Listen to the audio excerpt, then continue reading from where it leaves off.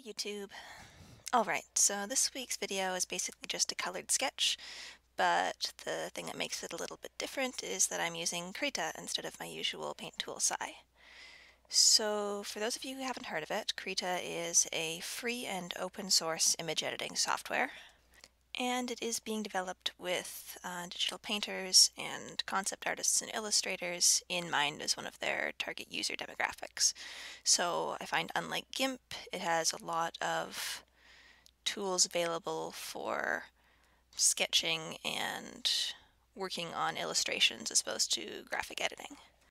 And one of the coolest things Krita offers, and the reason I ended up downloading it, is that it offers this uh, wraparound mode, which basically allows you to create seamless patterns like the one I'm drawing here. So basically it shows you your canvas several different times and links them all together into one giant canvas, and you can draw anywhere and it will be immediately duplicated upon every iteration. So you're drawing a seamless pattern on one canvas and you're seeing what the whole pattern is going to look like every single time you make a new brush stroke. Personally, I do still find Paint Tool Sai a lot easier to use. I find Krita's smoothing algorithms just not quite as clean, and I just find it a little bit more difficult to draw with the program, but I have heard a lot of other artists say they really enjoy it, so I think if I put a little bit more time into learning it, I might end up liking it almost as much as I like Sai. So if you are looking for a new art program to play around with, especially something that's not going to cost you very much, in this case not going to cost you anything, I definitely recommend taking a look at Krita and seeing if it's for you.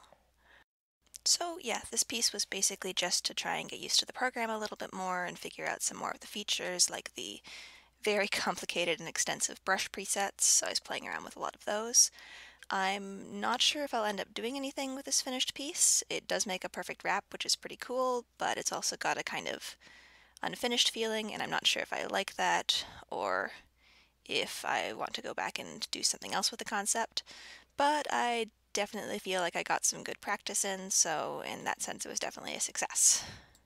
So yeah, that's about it for this piece. If you're using an open source or inexpensive art program that isn't Paint Tool Sai or Krita, definitely let me know which one you're using down in the comments and whether or not you like it.